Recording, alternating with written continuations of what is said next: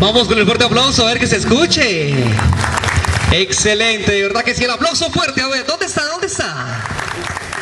Ella era Natalie Sofía Salazar, excelente talento.